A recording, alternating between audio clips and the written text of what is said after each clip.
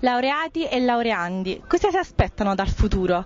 Quali sono le loro prospettive lavorative e quali sono i loro sogni? L'Italia riuscirà a soddisfarli o sarà meglio andare all'estero? Siamo venuti a Tor Vergata per sapere cosa pensano gli studenti. Hai già lavorato? Quali sono le tue prospettive per il futuro, i tuoi sogni?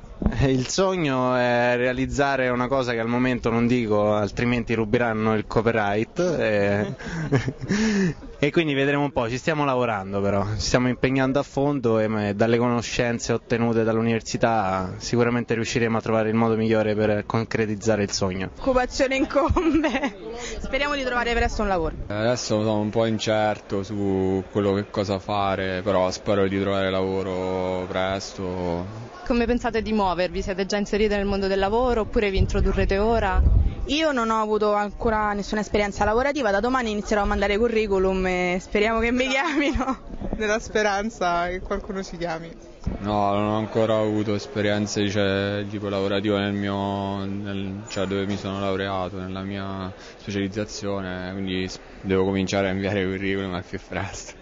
No, no, ho deciso di continuare a studiare per eh, io personalmente intraprendere la carriera della magistratura, anche se non è una certezza. Credi che l'Italia possa soddisfare le tue aspirazioni lavorative?